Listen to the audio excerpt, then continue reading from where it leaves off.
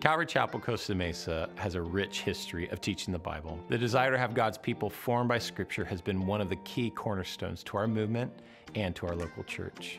Through the years, countless men, women, and children have been discipled through the rich teaching and application of God's Word through our Sunday and weekly ministry gatherings. We want to continue to build on that foundation that has been laid for us with gratitude for the past and hope for the future, taking a fresh approach to the way we do everyday discipleship by bringing together elements of our regular and seasonal gatherings. We are planning to do this through an all church initiative we're calling The Gathering. This will be an expansion of our current Wednesday night Bible study into multiple courses for everyday discipleship, offered in sets of weekly sessions following the rhythms of a school calendar.